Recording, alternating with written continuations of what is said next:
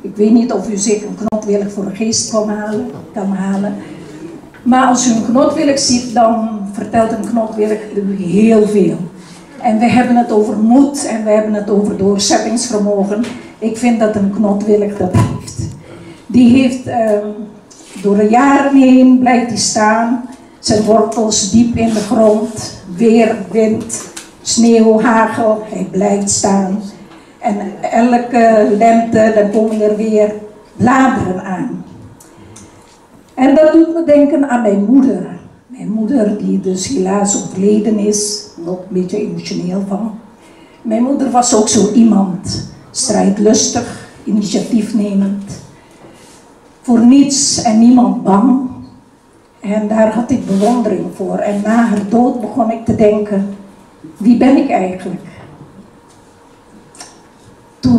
Dacht ik, ik ben Molux.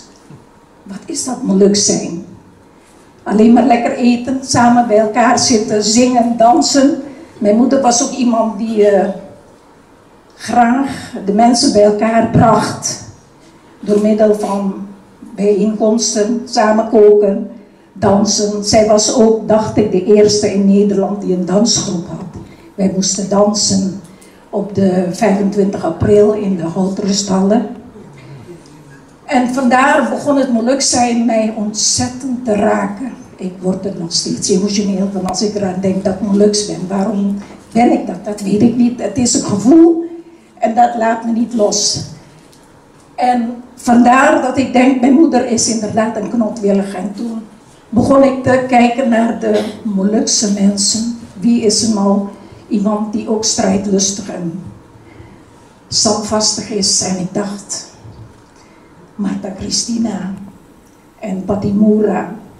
En toen was ik begonnen om hun van klei te maken. En ik heb ze in allerlei vormen en grote, klein gedaan. En waar ze allemaal beland zijn, dat weet ik niet, want ik geef ze weg voor een goed doel. Er wordt geveild en dan gaat het waarschijnlijk voor een weeshuis op Ambon, vind ik veel waar. Dit heeft mijn zwager op een veiling gekocht, dus die kan die nou tonen. Als u mij vraagt of ik uh, uh, nog beelden heb, dit is het laatste wat ik aan het doen ben.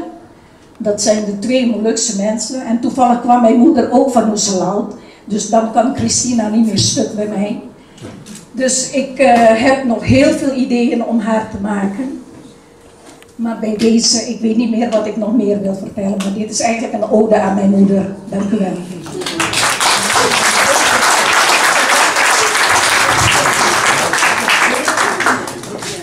Dank u wel. Volgens mij zit er altijd bij, oh, Molukse vrouw wel een beetje Marta Christina, of niet? Is het is de stammoeder van de Molukse vrouw?